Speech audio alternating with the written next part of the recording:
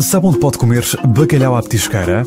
Um arroz de sarrabulho, um suculento cabrito, uma deliciosa feijoada, um saboroso arroz de pato, um apetitoso lombo assado, uma tenra vitela estufada ou um irresistível polvo alagareiro? Sabe que na Petisqueira de Finses pode deliciar-se com frango no churrasco, costelinha e com as nossas sobremesas caseiras? Sabe que na Petisqueira de Finses a sua refeição é sempre acompanhada com bons vinhos? Petisqueira de Finses, takeaway, serviço de diárias e refeições à lista. Petisqueira de Finses, comunhões, batizados e outros eventos com preços excelentes para grupos. Petisqueira de Finses, Rua António Adão, junto aos Bombeiros da Trofa. Em dia de São Valentim arrancou uma iniciativa para os amantes da leitura.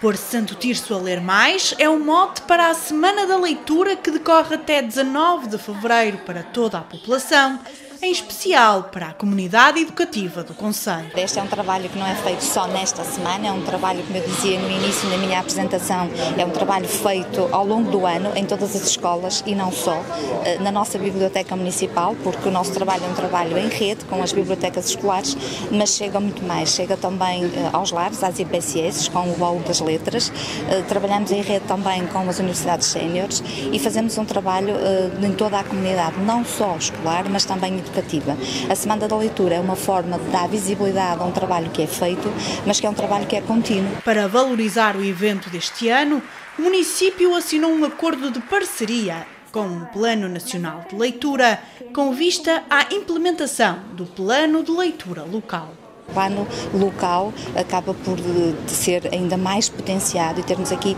mais responsabilidade. Portanto, no fundo, não fazemos só, mas fazemos uh, e queremos que seja plasmado em protocolos, aumentando toda essa responsabilidade de todos os parceiros. Portanto, o plano também é uma forma de potenciar e de responsabilizar ainda muito mais o trabalho conjunto de todos que, que continuamos a fazer, como eu digo, em rede. Acreditamos que se consegue uh, fazer mais muitas vezes fazendo o mesmo, mas noutro enquadramento, com outras sinergias organizadas e ao fim dois parceiros dão três ou quatro ou cinco. Uh, aqui temos escolas, temos outras instituições, uh, escolas de todos os níveis de ensino, escolas públicas, escolas, profissionais, instituições diversas de cultura e educação e acreditamos que isso pode colocar no terreno a leitura, a escrita, a cultura na ordem do dia sensibilizar para o envolvimento de todos nesta missão de aumentar o consumo de literatura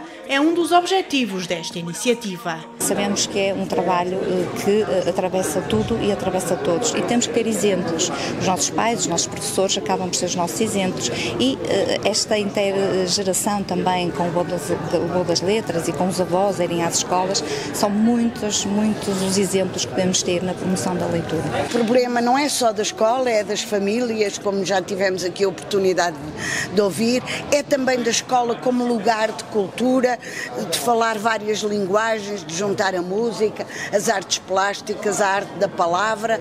É uma maneira compósita de eh, fazer valor, eh, dar valor à leitura e à escrita. Queremos outra coisa, que é ler literatura, que é outro lado da leitura, um lado da leitura mais criativo, mais imaginativo, eh, mais capaz de nos fazer pensar além da nossa vidinha.